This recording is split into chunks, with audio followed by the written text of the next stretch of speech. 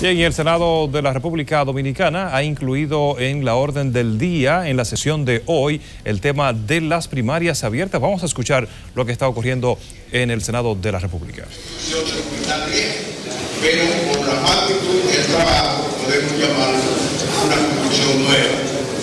En esa oportunidad señalábamos que el honorable señor presidente de la República, licenciado Danilo Medina, había prometido hacer ese hospital en un tiempo recto, que independientemente de que se habían llevado a cabo algunos movimientos horarios, él había prometido terminar esa construcción y le daba al pueblo de Lourdes la esperanza de que en ese tiempo sería llevado a cabo esa construcción.